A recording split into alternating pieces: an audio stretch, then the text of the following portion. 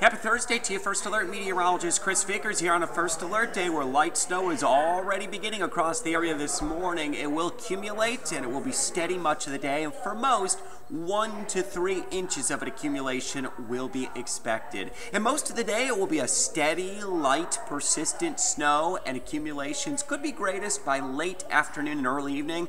Some areas, especially east of Toledo, will approach about three inches of a fresh snow accumulation. Snow will taper off tonight tonight. May get a few flurries that will continue as we go after dark and into Friday morning, mainly dry, but a few afternoon light isolated snow showers will be possible.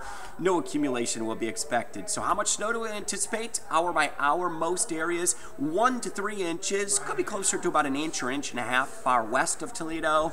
Two inches or so in the Toledo metro and some areas east of Toledo easily could get up to about three inches of snow. Be safe today.